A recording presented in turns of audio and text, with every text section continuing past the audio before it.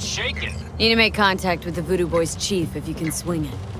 All right, all right. Straight to heavy business. Hmm.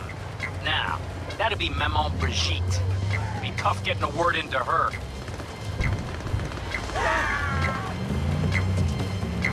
Ah, I was led to believe you could arrange anything. Ah!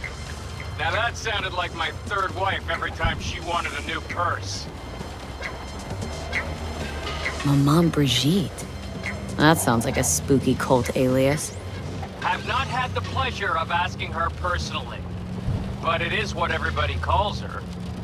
Doubt the title has any real religious weight, though. Voodoo boys play pretty fast and loose with their Haitian heritage. Really don't do any biz with them? Not with the chefs, chefins, priests, and whatnot. All got dirigible-sized egos, won't talk to lowly me. But if you insist, I can ask around, try to set something up. I'll just need some details first. Got something they want. Truly? Want to sell something to the VDBs? Trust me, they don't want it, they don't need it. They're isolated, insulated, they got their own contracts, tech, networks. But have it your way. Okay, I'll see what I can do and get back to